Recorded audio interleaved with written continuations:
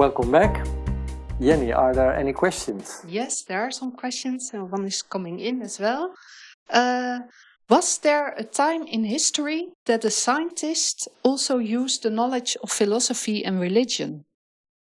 Well, yes, actually, uh, the, the, the philosophers that I um, have been describing so far are, uh, are, are thinkers uh, in a very broad way. Uh, that means that uh, they were actually a combination of scientists philosophy and religion. Some of them had more focus on religion, others were more oriented towards the scientific and philosophical aspects.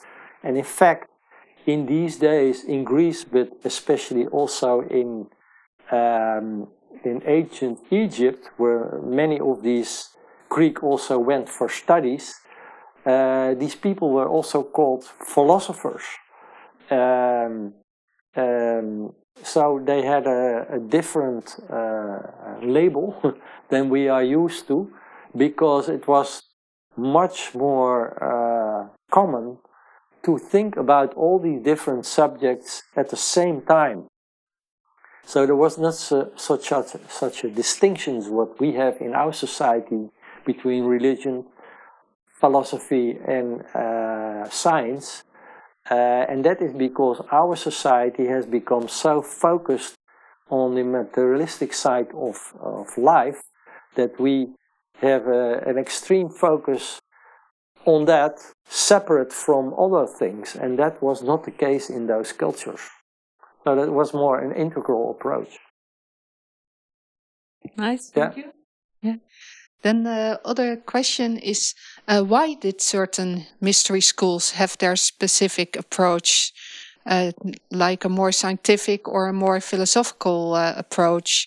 Does that have to do with the period in time or the development of the students? Well, uh, it must. Uh, it, it, had something to do with the development of the student, but these different schools with their different focus existed at the same moment.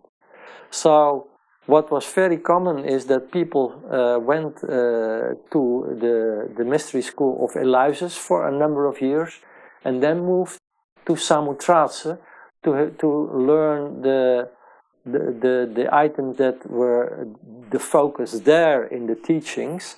And the same was the case in ancient Egypt, where you also had different mystery schools, different temples in uh, in uh, Sais, in uh, Memphis, and so on, all these places, and they all had different uh, curriculum, so to say, and a different focus. And the same uh, was for ancient India, where you had the Saptasranas, the six uh, schools, six philosophical schools, but in fact, the first two were mainly focused on science and things like mathematics, the other two were more philosophical, and the last two were um, mostly mystical and religious focused. So you see that in all cultures uh, there were accents uh, while these schools were uh, existing at the same moment. But then also the teachers had their uh, different uh, focus in the fields they were uh, specialized in although the basis of the teaching was was or should be the same, uh, the the universal science or the universal uh, wisdom religion, the Theosophia, uh, from which these various fields were uh, further uh, elaborated. Okay. Yeah. Yeah, thank you very much. Uh, one other question came just in by email. And that is, uh, can you say that the source of all knowledge of the great scientists, that they are all traceable to the Theosophia? In fact, yes, the basic, the fundamental ideas, and we will see that also next week when we are going to talk about metaphysics. Uh,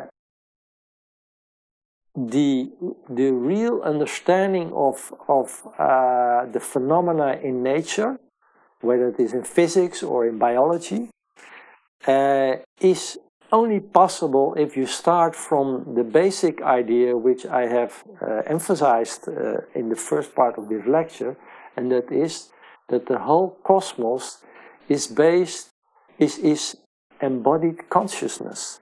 And that means that all matter that we see and that we study as matter is in fact animated matter. And that is derived, this concept, from the first proposition of the secret doctrine, and that is the boundlessness of life. And in fact, all sound and, and, and true science is now or will in the future be derived from this starting point. And if you um, deviate from this starting point, which is actually the first proposition of the Theosophia, of the secret doctrine, and if you don't take that as your starting point, you will run into all kinds of issues which are not explainable in a fundamental way and will lead to all kinds of side branches in science which is describing phenomena in a very uh, yeah difficult to understand way and in fact gives problems that cannot be solved during decades as long as it is not uh, departing from this fundamental assumption that everything is alive in the cosmos, that all matter is animated matter.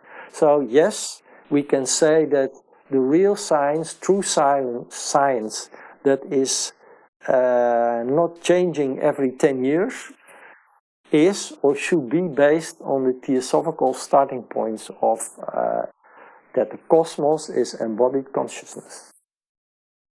Yeah. Thank you very much. That's what that were the questions. Okay. Thank you very much for the uh, very good questions. We now move on to the second part.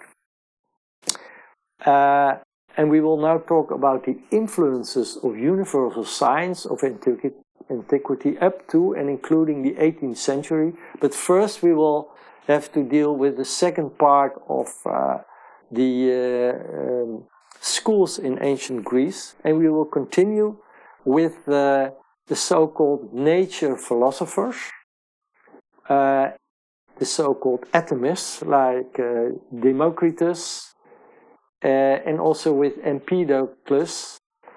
And uh, they uh, also had a lot of ideas about matter, animated matter. Um, the atomists derived their name from the word atom, which is uh, derived from atomos, and that means indivisible. Uh, the idea that the matter consists of particles and that the atom is the smallest and indivisible particle in matter. Uh, and we see actually that from Anaxagoras to Epicurus, the Roman Lucretius, and even much later in the Renaissance, Galilei, they all assumed animated matter. Although the atomist Democritus had a rather materialistic theory of atoms driven by blind forces. And I want you, in the first part, that you always have to watch whether they, the philosophical ideas of these thinkers was really based on a spiritual starting point or on a materialistic starting point. Uh, and Anaxagoras, for instance, did assume animated atoms. Uh, in the Theosophic Theosophia, we also come across the concept of the atom or life atom, and with this is meant the imperishable nucleus of a living being, if we talk about a life atom. Often also the term monad is used for this is the sense of a unit, of an entity, of a life center. The uh, philosopher Empedocles stated that the elements of nature interact through the forces of love and hate. And we would say nowadays the forces of attraction and repulsion. Or that forces are bipolar with attracting and repelling poles. Think, for instance, about a magnet with a north pole and a south pole. North pole where uh, with, which is the attracting pole, and the south pole, which is the repelling pole. We go to the next philosopher, Plato. Plato was investigating the truth via the so-called deductive method. That means going from universal propositions to particulars, to the particular facts. Plato's picture of the world is as follows. The idea of the good, his name for the boundless, with ensuing the world of being, the noble world of the noumena, and the world of becoming, the visible world, the world of the phenomenon. Plato gave a very universal definition of a living being, namely that a living being is characterized by a body which is capable of acting and being acted upon. It is also called self motion. In the dialogues of Plato, Socrates concludes with his students that the so-called pair of opposites, such as hot and cold, have the characteristic that the opposites can merge into each other. And there are no exceptions to this. Also, life and death uh, comply with this principle. So, the students of Socrates conclude that there is a cyclicity of life, that there is really a thing like reincarnation. Plato goes on to explain that cyclical movement in the form of a circular motion, for instance in the case of a comet in the cosmos, are the first signs of its own character and free will. Plato further taught the hierarchical structure of the universe and that harmony in this hierarchy is the basis of nature. Then we go to the philosopher Aristotle. He was a student of Plato. In the course of his life, he followed a different course from his teacher Plato, whose ideas he misrepresented. Aristotle was a great advocate of the inductive method. He collected many facts about nature in order to develop theories. He did so because he found it difficult to reason from the idea that the cosmos is embodied consciousness. The inductive method and his emphasis on collecting material facts were the great model for doing science for many centuries. But he is the example of a non-universal scientist. Then we go to Zeno of Citium. He was the founder of Stoicism, the dominant philosophical school of late Hellenism and the Roman Empire. Zeno lived approximately 100 years after Plato, and he was a continuator of ideas of Pythagoras, Socrates, and Plato. He was then succeeded by Cleanthes. The Stoic philosophy consisted of five main lines. They considered the great whole, the cosmos, as a large organism in which everything is alive.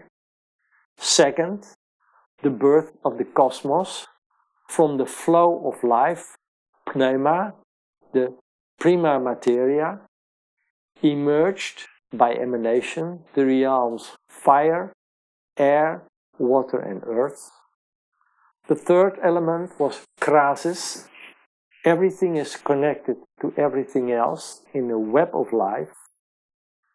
And the successor of uh, Zeno, Chrysippus, gave the following illustration of this. If you drop one drop of wine into the ocean, it has its effects everywhere in the cosmos, however small that may be. The fourth point was that thinking is central. And the fifth point is about ethics and happiness, living in harmony with nature.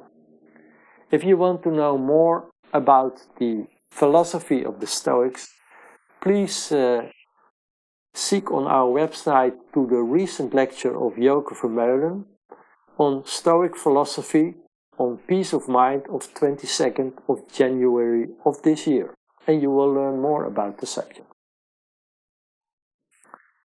Finally, we go to uh, Claudius Ptolemy, who was a universal scientist of Alexandria.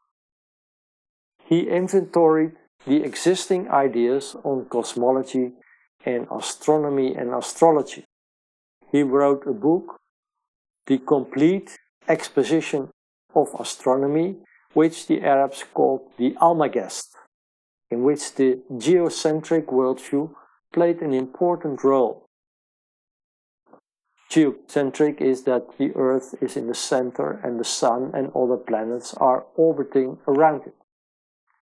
Indeed, at its core was the doctrine of spiritual hierarchies with ten spheres of different degree of materiality in the cosmos influencing each other.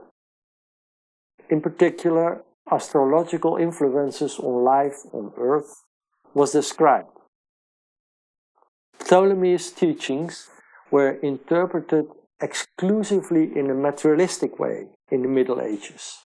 So primarily, the material geocentric worldview remained, and this would last till about 1500, so a very long time.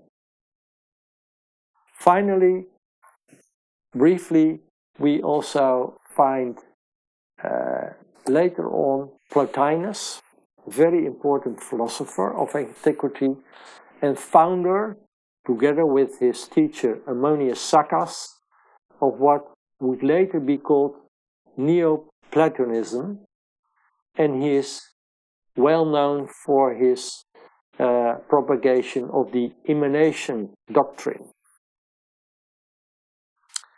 Let's now try to summarize some of the universal ideas from antiquity. And we do that with the three propositions of the uh, Theosophia as the frame of reference. So, we see that most of these philosophers start from the starting point that the cosmos is embodied consciousness. As we stated in the Theosophia, Theosophia we talk about the boundless. And that force and matter are one, and that all is manifested is alive. The second the second proposition is about cyclic motion, and we see that most of these philosophers have an understanding of the cyclic motion that is the appearance and disappearance of life, like we see we just saw in the pairs of opposites, uh, which was part of the dialogues of Plato. Also was recognized the cyclic, visible, physical motion in the cosmos that that is a first expression of an individual being with its own character and a free will. And the idea of self-motion, the ability to act and react as a characteristic for an animated and living being. And thirdly, the uh, uh, cosmos and nature is a hierarchy of different layers of force and matter, where force and matter are relative. And that hierarchies emerge via the process of emanation. Everything is therein connected to everything. And also the aspect of growth. Everything is constantly developing. Harmony is the basis for natural growth, and forces are continuously in balance.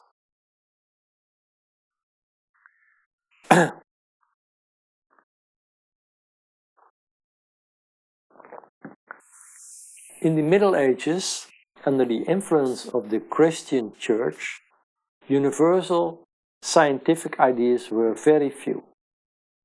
The material worldview, as it existed in the West, was also very limited.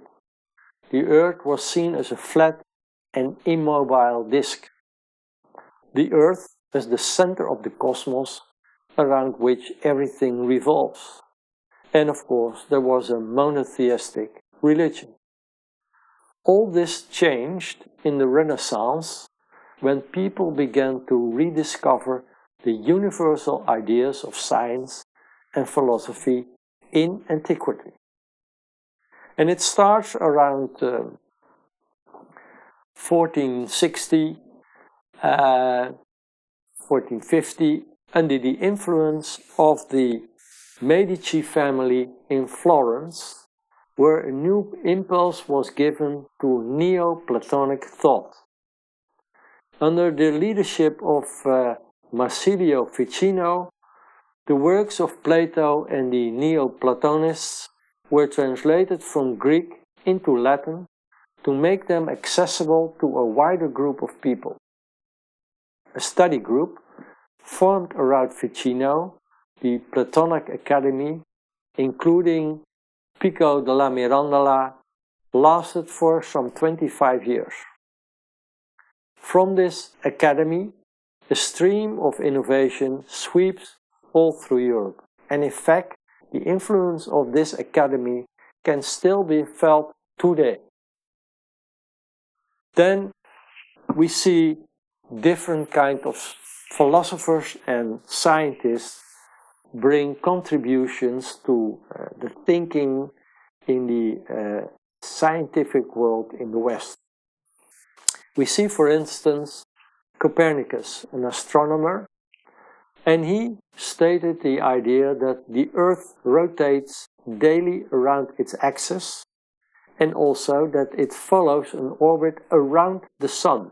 It is the rediscovery of the heliocentric concept. Next, we see a philosopher called Giordano Bruno, which was a forerunner of modern science and philosophy. He drew mainly on Pythagoras' ideas. Some of Bruno's ideas were as follows. He accepted Copernicus' heliocentric system and he also assumed the boundlessness of the cosmos. He was condemned to the stake by the Inquisition in 1600 for refusing to recant his ideas. Then followed Galilei. He followed also the ideas of Pythagoras and Copernicus concerning the heliocentric view. He mapped the nature of the movement of the Earth and the planets and was forced by the Inquisition to recant his heliocentric ideas, for Galilei feared the fate of Giordano Bruno. Then we see the astronomer Johannes Kepler, a very good example of a universal scientist. He also took Copernicus' model seriously, and Kepler assumed the cosmos as embodied consciousness. He subscribed to the Pythagoreans' ideas about the planet as being rational, intelligent beings revolving around the sun in which dwells a pure spirit of fire, the source of general harmony. He is best known for his laws on planetary motion. The first law about the orbit of a planet around the Sun, which is an ellipse and not a circle. The second law, where the imaginary line joining a planet and the Sun sweeps equal areas of space during equal time intervals as the planet orbits. But the most important law is the third law, the law of harmony. For all the planets in the solar system, the orbital dimensions of the ellipse and the orbital velocity are such that they all satisfy the same ratio formula in which these uh, quantities occur. And that fulfillment of that formula indicates that there is unity and harmony in the solar system, in the motion of all these planets. Madame Blavatsky notes on this third harmony law that it reflects that there is a limited permissible fluctuation in the elliptical orbit and the elliptical period followed by these planets. And since the gravitational field remains unchanged, this can only be due to an external cause. And from Theosophia, we then like to point to the free will of the consciousness operating behind a planet. Kepler attributed the gravitation force to the magnetic attraction between bodies, and according to Madame Blavatsky, rightly so. Then we move on to the 17th and 18th century. We see then the specialized scientist Descartes, who was also a philosopher. In the West, Descartes is considered one of the fundamental thinkers on scientific questions. He was radical in his thinking to arrive at unquestionable insights. Well known is his statement, cogito ergo sum. I think, therefore I exist. That was the starting point in his thinking. There was no doubt about that with him. About his contribution to science from a theosophical perspective, we are not only positive. His idea was that consciousness and force would be completely separate from matter. And this idea persisted for hundreds of years until the 20th century and led scientists around the world astray. Then we go to Isaac Newton. Newton really was a universal scientist. He built on the work of Copernicus, Galileo, and Kepler. But the main idea about the attraction of bodies in his theory of gravity, Newton borrowed from the mystic Jacob Boehme. But Newton was also well acquainted with the teachings of Pythagoras. He was a deeply religious man and a great scientist who has had great significance for science and engineering up to this present day. In his masterpiece, the Principia, he formulates three laws for moving objects and a new theory for gravity. In his Principia, Newton states that by his formulas, gravity becomes mathematically defined. But he leaves it to the reader what causes that gravity force, material or non-material. That in his premises, in Principia, he assumes a vacuum between bodies that attract each other. But in his correspondences with his colleague Bentley, he intimates that he is gradually thinking of something like a spirit or an ethereal medium. In order other words, something like the ether. And the scientists Euler and Leibniz had similar ideas like that. Then we go to Leibniz, who actually was more a philosopher than a scientist, but Leibniz, as a contemporary of Newton, was a strong intuitive philosopher and mathematician. He came close to theosophy in his ideas about the cosmos. He stated that an active energy constitutes the essence of matter and that the cosmos is a large living organism and is composed of interwoven hierarchies of beings. He used the concept of the monad in the same way as Pythagoras. That is, that the spiritual atoms of the cosmos form the building blocks of the cosmos. And he stated that everything in nature develops develops step by step through evolution. Well, this is the second part of uh, the lecture.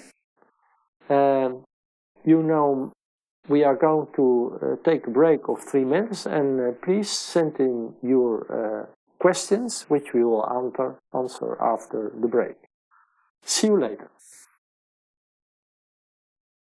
Welcome back. Yes. Jenny, any questions? There are some questions. Yeah? Yes, the first uh, question is uh, assuming the metaphor that one drop of wine in the ocean has such a great impact, can I also relate that influence to the individu individual human being as a thinker? Yeah, I think uh, that's a very good point if um, this this this influence of one drop of wine uh, has such an enormous uh, or, or, has a small impact already in the complete ocean or even in the cosmos, that's what the Greek philosopher said, then you can imagine that if you have think about ideas that we as human beings are thinking, uh, and which also uh, can, uh, let's say, um, spread so easily through the mental atmosphere that uh, what we think really matters uh, because it is also uh, can have a big influence on the rest of the world via the mental planes. And I gave at the beginning of this lecture a small example of that that if you and then I quoted one of the masters of wisdom who said that if you uh, study truth and you, you find a, a, a, an idea of truth which is also uh, taking care of the ethical aspect of it, then it is not only that this idea will spread, and when it is also a universal idea, uh, then it will not only spread all around the world, but it also will remain in time, have a very uh, benevolent influence on the world. So it is not only in, let's say, the, the spheres of the mental spheres where it will have its influence in the world, when it is a universal and ethical sound idea, it will have a big impact in a very big uh, sphere but also in time it will last longer and will have in, during a long period a beneficial effect on humanity. So yes, uh, it is very important to think about uh, uh, to have uh, to, to yeah to to to try to understand what is real and what is an illusion and also taking into account that it has to be universal, that it has to be balanced from the scientific, philosophical, and religious side, that it is also an ethical sound idea, because then the impact will be very large on society and all life on earth. Okay, thank yeah. you very much. Uh, then the second question is, I think, related to this. Uh, that is, uh, did the mystery schools also have an impact in their societies? Yes. Well, I think the uh, the answer is yes. Although they uh, are a little bit, always were a little bit withdrawn from society, uh, and and some of the teachings were kept secret. Although they had they had in the in the time of the Greek, but also in the time of ancient Egypt, they had the lesser and the greater mysteries. The lesser mysteries were kind of dramas uh, in, in in the form of uh, yeah drama, where uh, teachings were actually um, uh, uh, presented in a hidden way via drama, uh, but with ideas that were explained more explicitly in the uh, in the greater mysteries, where uh, students uh, who were uh, or chelas who were so far that they could go to the real initiations were told more of these uh, truths. Uh, but the so the impact of these mystery schools were was that people could hear about the truths that were taught in those schools via the lesser mysteries, but also that if you uh, uh, could grasp these truths via your intuition, it could have an effect on your scientific insights, but also in um, the governance of uh, the cities and the countries. And what you see, and that is uh, known in history, that for instance, the school of Pythagoras uh, had as an influence on society that uh, uh everybody in the cities knew that the Pythagoreans had ideas that were not identical with the local uh, rulers of that areas.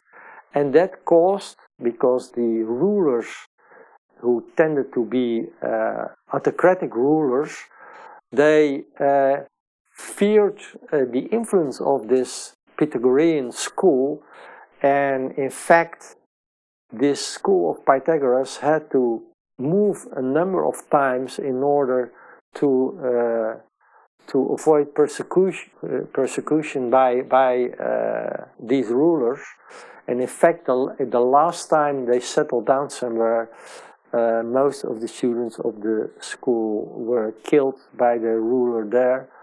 Uh, I forgot his name, but he was a very cruel uh, ruler.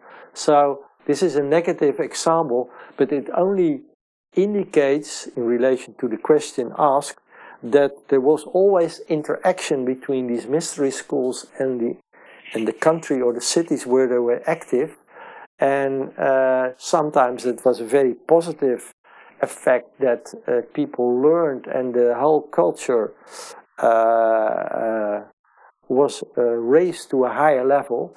But in times when uh, cultures went down and people followed autocratic rulers, then there were frictions between these mystery schools and uh, the rulers around it, and it gave uh, uh, also social troubles because uh, the, the, mystery schools tried to keep uh, all the ideas pure, and that was not to the liking of these autocratic rulers.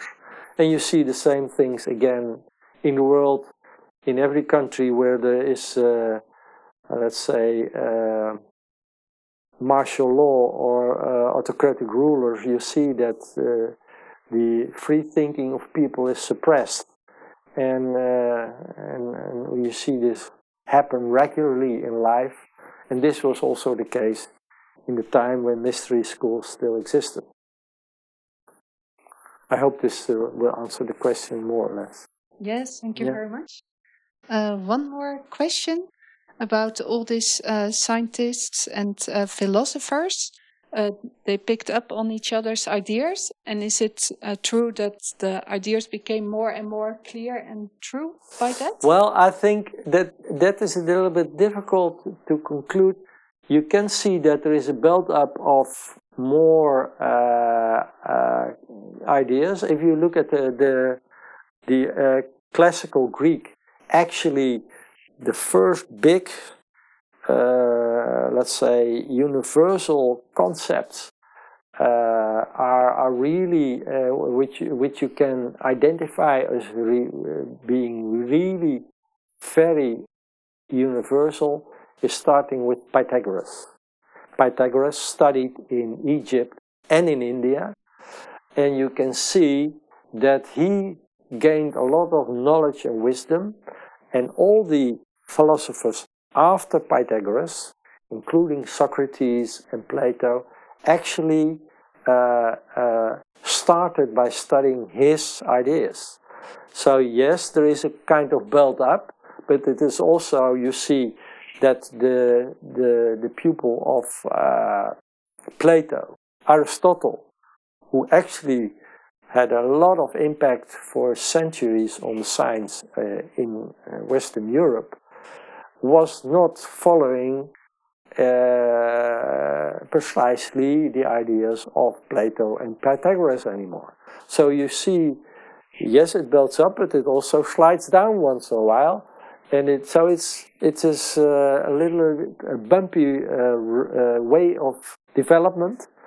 And sometimes you see a peak again, uh, for instance, when you say you see uh, Plotinus, the Neoplatonist, who is giving an impulse again upwards. But you see then also it's going down when people start following more or less the ideas of Aristotle during the Middle Ages because they cannot grasp the idea of the boundless and the fact that the universe is, uh, is an embodied universe, is an animated universe.